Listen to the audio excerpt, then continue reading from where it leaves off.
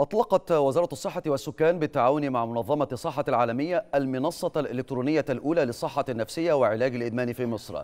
وقالت ممثلة منظمة الصحة العالمية في مصر ورئيسة البعثة نعيمة القصير إن علاج الإدمان ضرورة ملحة مؤكدة أنه يمكن لهذه المنصة أن تنتقل خارج مصر موضحة أنه مع كل أربعة أشخاص هناك شخص يعاني من مشكلة نفسية ويحتاج إلى دعم نفسي. في هذا الإطلاق اللي أنا شايفاه آه، إطلاق لمنصة الأولى من نوعها المنصة الحكومية الأولى من نوعها مش بس في مصر هي كمان في منطقة الشرق الأوسط. فده الحقيقة حاجة تدعو للفخر والسعادة وإحنا وإحنا بنجهزها ما كناش نعرف المعلومات دي الحقيقة. يعني إحنا فوجئنا إن إحنا أول ناس ودي حاجة جميلة وتسعدنا وتشرفنا كلنا. شرفنا كمنظمة الصحة العالمية بإطلاق هذه المنصة بالتعاون مع عدة جهات.